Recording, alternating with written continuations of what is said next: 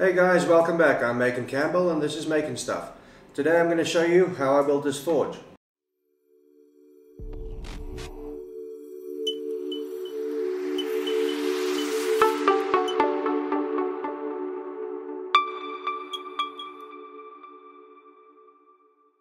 So first off I'd just like to apologize if my lighting is terrible. It is almost 11 o'clock at night and I really want to get this video uploaded before tomorrow. So this was a very interesting build. I ran into quite a bit of problems while I was making this but uh, all in all I'm very happy with how it turned out. There are perhaps a couple of modifications that I'd like to make in the future but uh, for now I'm going to use it like this and uh, see how it works. So I didn't show all the problems I ran into uh, while building this otherwise this video would have been too long and I really felt like a shorter video especially after that terribly long bed video that I just put out but I can cover a couple of them before we get into this video. So firstly the plan I had at the back it didn't work out um, exactly as I intended. So the reason I made this hole over here which is exactly the same size as the chamber on the inside is I wanted to take these two bricks and cut out the parts that you couldn't see so that if you wanted to have the forge open on both sides could just switch the bricks around and you'd have a nice hole over there but every time I tried to make those cutouts I ended up breaking the bricks and I eventually ran out of bricks so these are the only two ones I had left. That one also happened to break, but uh, that turned out to be a happy accident because I noticed that the torch at the back kept on dying because I suspect it wasn't getting enough oxygen, which is why this actually worked out quite well because now I can open up the back of the forge a little bit, let some air in and then this back torch tends to not die. Speaking of torches, I chose these specific torches for three reasons. The first reason being they are advertised as free rotation torches which means that according to the instructions after two minutes of preheating you can use the torch inverted which works out perfectly for this application. Second reason was these canisters and uh, this head was pretty cheap and lastly this was the only torch I could find.